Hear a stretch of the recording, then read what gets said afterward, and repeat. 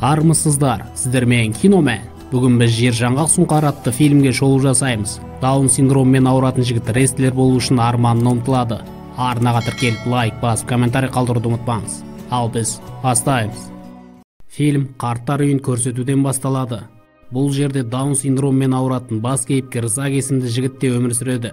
Жігіт кемпірдің көмегімен және керемет қашу жоспарын сызып қашпақ болады. Бірақ жігітті тек бірнеше қадам жасағаннан кейін емшілер ұстап алады. Оның бөлмесінің терезесіне тор орнатады. Зак тұзды реднектің рестлер мектебінің жарнамасы жазылған таспаны қосады.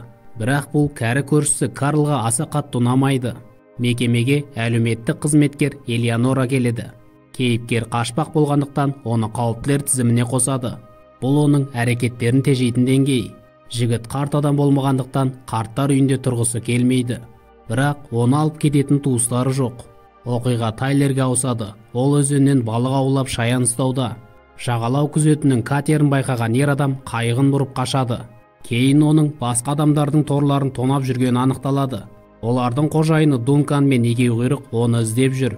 Қайық жағажайының қожайыны тайлердан заңды бұзуын тоқтатып бақилық болған бауырының есімін кірлетпеуін сұрайды. Қарттар үйінде кешкі астан кейін шал заққа қашуға көмектеседі. Ол терезедегі торды сүлгімен керіп жігітке сабындануды бұйырады. Зак терезеден әреңсиіп өзінің бостандығынан айырған мекемеден іш киіммен қашып кетеді. Таң азанда ол балықшылар мекеніне келіп тайлердің қайығына жасырынып қалады. Ол тайлерді бос қалған торлардың иелері соққыға жыққанының куәсі болады. Дункан оған ұрлап алған қармақтарды қайтармасаң келесі жолы аман қалмайсың дейді. Жуынып шайынған тайлер әрі қарай не істеуге болатынын ойластырады. Ол қалған торларға жанармай шашып өртеп тастайды. Дункан мен егеуқұйрық оның қайығының артынан түседі? Олардан қулығын асыру үшін тайлер биік қамыстың маңына келіп қайықтың қозғалтқышын өшіреді. Ізіне түскендер өрт қойғышты іздеп маңынан өтіп кетеді. Кейін оларда тың тыңдау үшін қозғалтқышты өшіреді. Кенет қайықта жасырынып жатқан зак шаңнан жөтеле бастайды. Тайлер оның аузын қолымен жауып шу шығарып өздерін ұстап бермес үшін пышағымен қорқытуына тура келеді. Элеонора зактың қашып кеткенін түсінеді. Содан кейін оны бастығы шақыртады. Директор полицияға қашқын туралы арыз түсірмей тұрғанда қызға табуды бұйырады. Қызға көшеден әр адамға жақындап даун синдромымен ауыратын жігітті көрмедіңіз ба деп сұрауына тура келеді. Тайлер қайғының түбін мылтығымен атып тастап кетеді. Ол кетпек болғанда зак судан қорқатынын айтып соңынан қалмайды. Жолда қашқын балықшыға арманы жайлы айтып береді. Яғни тұзды реднектің мектебіне түскісі келетіндігін. Ақыры соңында мықты күрескер болып барлығына қолынан бірдеңке келетінін дәлелдеу. Біраз жерден кейін зактың бірге жүргісі келгеніне қарамастан тайлер оны тастап кетеді. Балықшы жолға шығып көлік тосады. Оған жүк көлігі тоқтағаннан кейін балық станциясында болған өрт жайлы естиді. Жүргізуші оған қоса полиция жолды жауып өрт қойған адамды іздеп жатқанын айтады. Тайлер ұсталып қалатынын түсініп кері қайтады. Жағадан ол закты баланың үлкен биіктіктен секіртіп мазақ еткенін көреді. Ол балаға тәрбиелік шапалақ беріп зактың артынан секіріп судан шығарады.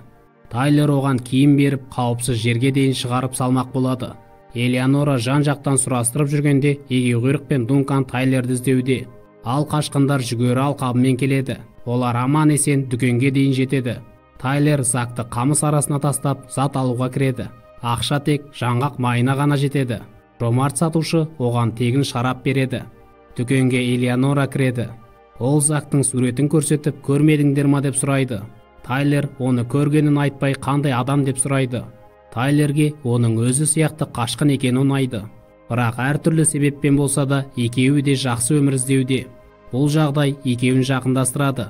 Ол тіпті екеуіне арналған ерекше қол алыс жасауға келіседі. Олар кезекті мәрте өзенге келеді. Оны кесіп өту керек. Тайлер пакет пен шалбарынан суға батпайтын зат жасайды. Оның көмегімен жүзе алмайтын закты келесі жағаға шығарады. Бірақ жағдай балықшы қайықтың жақын келгенінен қиындайды. Тайлерге жолдасын құтқару үшін күш салуға тура келеді. Зак жағада ештеңке болмағандай құтқарушысын орнынан тұрғызып әрі қарай жүреді. Тайлер зактың денесіне қарамастан күші көп екенін аңғарады. Кешке демалыс кезінде тайлер закты жүзуге үйретеді. Түн батқанда олар рестлер болуы жайлы арманы туралы сөйлеседі. Закты тастап кеткен ата анасы жайлы әңгіме тайлердің есіне бір жағдайды түсіреді. Ол мас күйінде көлік жүргізіп апатқа түскенде бауыры қайтыс болған. Азанда ол зактың жаттығуын бастайды. Тепе теңдікті ұстап мылтық атуды үйретеді. Ал бос уақытында элеонора жайлы сұрайды. Олар ескі үй маңынан қайықты тауып өзенмен жүзу үшін алып кетпек болады. Сонда үйдің иесі соқыр уағызшы тапаншасымен шығады. Жақсы сөз бен тапаншасының көмегімен ол ұрыларды жақсы жолға түсіріп закты шоқындырады. Содан кейін ауласына жатқан тақтайларды плот жасауларына береді.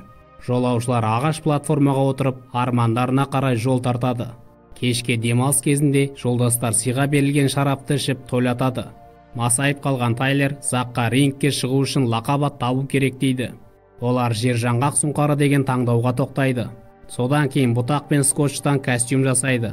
Олардың соңымен элеонора келеді. Ол уағызшыға жолығады. Ал азанда оларды өзен жағасынан табады. Қыз қашқынды қарттар үйіне қайтармақшы. Бірақ зак оны райынан қайтарғысы келеді. Ол қызға өздерімен бірге тұзды реднектің мектебіне баруды ұсынып көлігінің кілтін өзенге лақтырып жібереді. Әлеуметтік қызметкерге олармен бірге барудан басқа амал қалмайды. Суда олар тайлермен тәрбие жайлы сөз қозғайды. Тайлер оған көбірек бостандық беруді дұрыс деп ойласа қыз тым қатты қамқор болады. Зак оларды естімес үшін тайлер оған жаттығу үшін деп басын суға батырып қояды.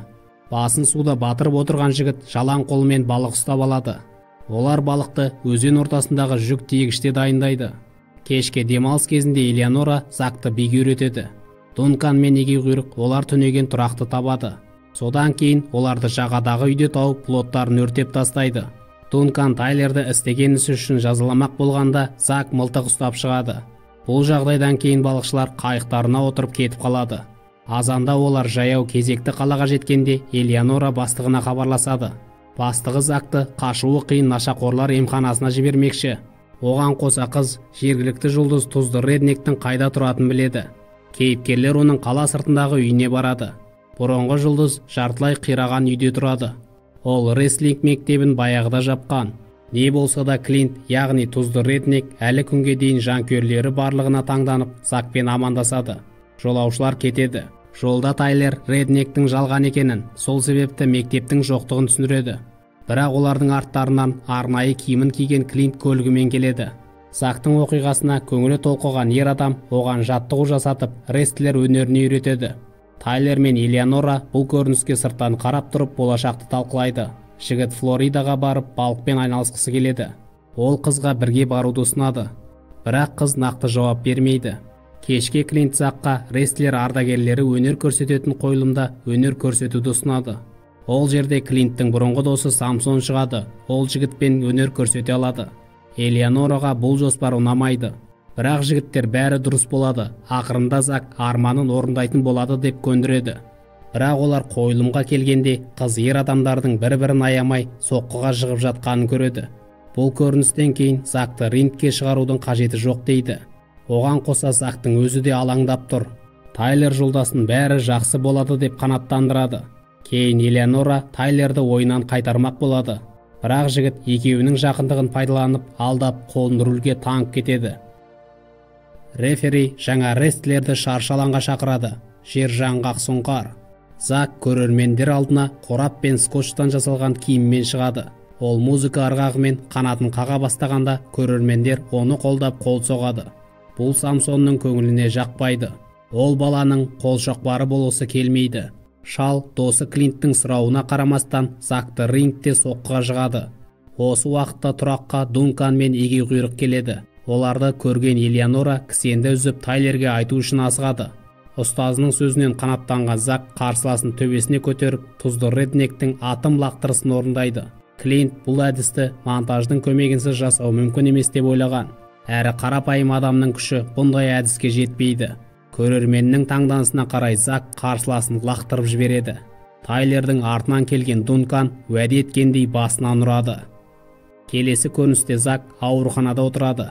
Элеонора дәрігермен сөйлесіп тұрғанда тайлермен жаттығу жасағанын еске алып шырақ түрлейді экран қара түске боялады.